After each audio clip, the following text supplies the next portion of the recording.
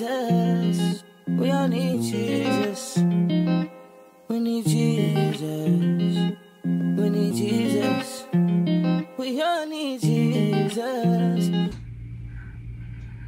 What's up, everybody? I hope all is well with you guys on this blessed day, Monday.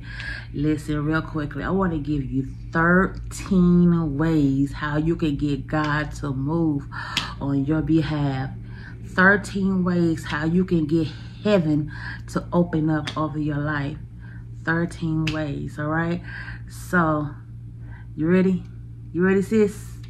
All right, we about to head to it, all right? So, of course, I got my handy dandy notes because guess what? Your girl write notes. Yes, I write notes. When I when I study my word, I write down notes so that I can maintain what I am reading so that it could be up here, right? So I always write notes, and especially if it resonates with me, I write notes. Um, guys, y'all see my new uh, my new little journal right here. I got it from Burlington's. I think it was like four dollars and ninety nine cents, something like that. I got the price right there. Not bad at all, and it came with a little pen, so I thought it was kind of cute but yeah guys I'm, I'm, going to give you like 13 ways how you can get god to move on your behalf and 13 ways. Well actually it's all included in this 13 okay? So it ain't 26 it's only 13 mm-hmm. but i'm going to give you 13 ways how you can have heaven to open up for you. Ooh, hold on y'all. My eye. Yeesh. it never fails y'all. Do it. Your girl be messing with her eye. All right number one and i got both of these from proverbs 8 and proverbs 9 proverbs 8 proverbs 9 so you can always go there for yourself to check it out okay? Hold on. Number one we must fear the lord. Okay so when you hear the word fear it doesn't mean to be afraid of the lord okay but fear means to reverence, to honor, to respect. Okay, that's what that is what fear of the Lord is. It is to reverence, respect, honor, all right, and glorify the Lord. That's what that means, okay? So it, it doesn't mean for you to be terrified of the Lord. No, does not mean that. Although, but no, that's not what that fear means. All right, we must worship the Lord. Actually, you're going to hear me say this twice because that's how important it is. In Proverbs 8, it says to worship the Lord, but also in Proverbs 9, in Proverbs 9, it says, um, I don't know what I'm throwing up two for. Yeah, it is what it is, right? But in Proverbs 9, it says that worshiping the Lord is the starting point to receive wisdom. All right. So in Proverbs 8, it says to worship the Lord, to acknowledge who he is. But in Proverbs 9, it also says worshiping the Lord is the starting point to receiving the wisdom of the Lord. So, number three, we must hate all things evil. Remember, the Lord hates all things evil. That includes pride. That includes arrogance. That includes um, being foolish, right? Even being foolish, God, God don't like that. He don't like when his people are foolish or acting a certain way, you know what I'm saying, that is contrary to him. So, number four, and I just said this, we are not to be prideful or arrogant because that will actually block the blessing of the Lord over your life if you are prideful and arrogant. So you definitely definitely don't want to be like that. We must love God. In Proverbs 8, it says, The Lord loves those who love him. Let me repeat that. Proverbs 8 says that the Lord loves those who love him.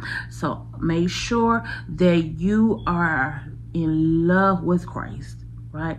Make sure you love on him. Make sure you respect him. Make sure that you have a outstanding relationship with him, God. Okay? I finna say God, Lord yeah, I just woke up like 30 minutes, 40 minutes ago. So yeah. but yeah, make sure you love on them. All right. Um, in Proverbs 8, it also says, Seek him early and diligently, you will find him.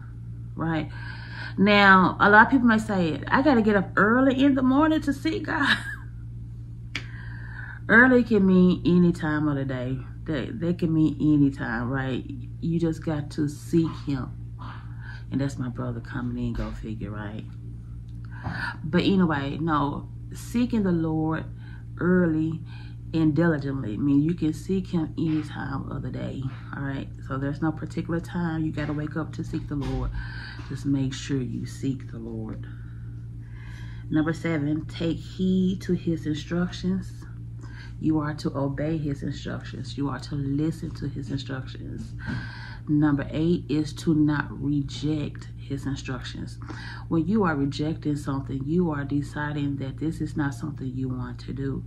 This is something that doesn't benefit you, right? So you never, ever, ever, never, ever want to reject the instructions of the Lord, all right?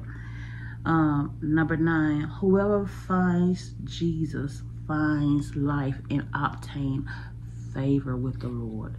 Let me repeat that again. Those who find Jesus Christ finds life and obtain favor with the Lord. So if you are in need of favor, if you are in need of living life, find Jesus Christ. That is your way to it. Number 10, he who I can't read my my handwriting, y'all. He who uh, he who fails to find him injures himself and curses his life with death. Right? So let me repeat that.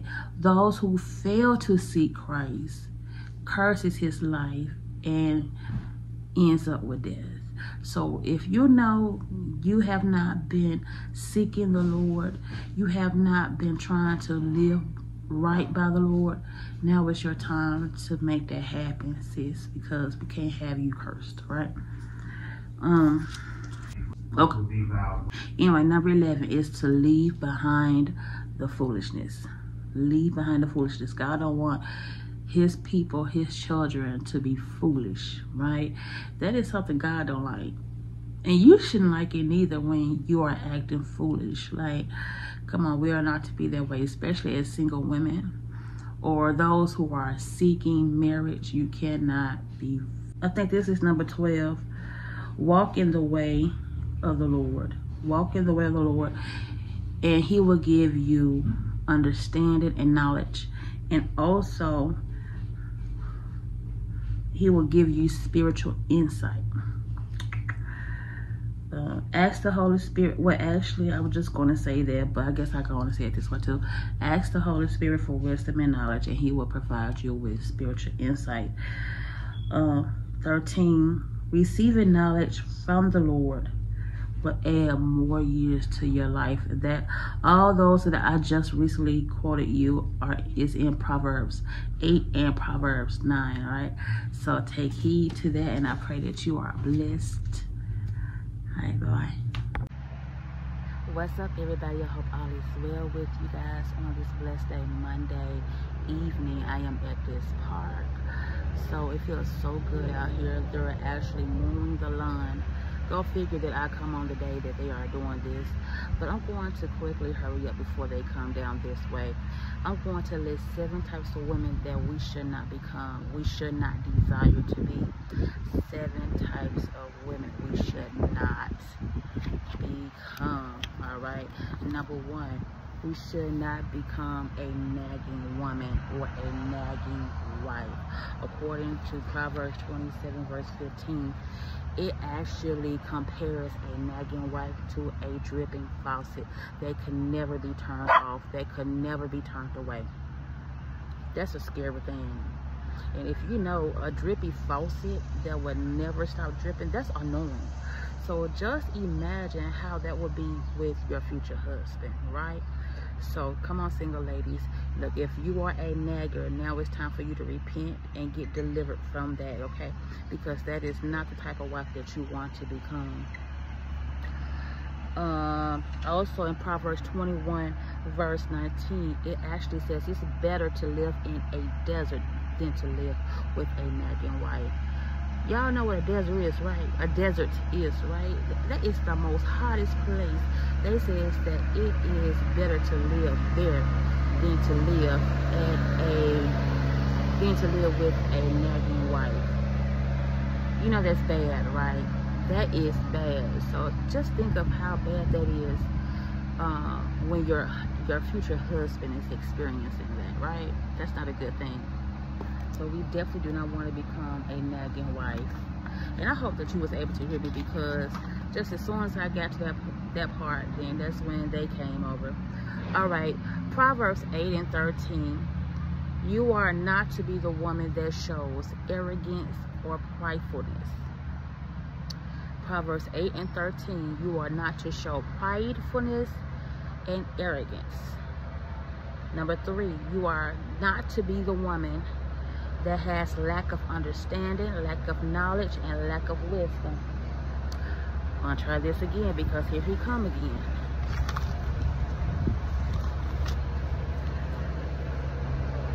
All right. Proverbs 9 and 8. Proverbs 9 and 8. We should not be a foolish woman, right? Who ridicules and take no responsibility for her error. We are not to be a foolish woman. It does not pay to be a foolish woman. We want our husbands to think that they are married to the most um, beautiful, intelligent, elo eloquent women on earth, right? We should not become a foolish woman. Proverbs 9 and 13 says, don't be a foolish and nosy woman. Look, if you are nosy, you have to be in everybody's business. You're not ready for marriage because I'm gonna tell you now, if you are the type of woman that is nosy and you like to be in everybody else's business, your marriage will not last. You have to keep people out of your marriage. You got to keep people out of your relationship. So if you are a nosy woman, I'm gonna let you know now you're gonna have to get delivered from that if you want a successful marriage and a successful relationship. Um also if you are a foolish woman that don't take responsibility, you have to get delivered from that or you will not have a successful marriage. Um, Proverbs 9 and oh actually 13 it also says don't be a naive woman right someone who is easily to get misled, someone who is thoughtless, someone who is careless. Being a carelessness woman will get you in time for trouble in your future marriage. So you definitely don't want to be that woman. So I pray that this blesses you, all right? Come on, single ladies. We got to do better. When we know better, we do better, right? So don't be these types of women, all right?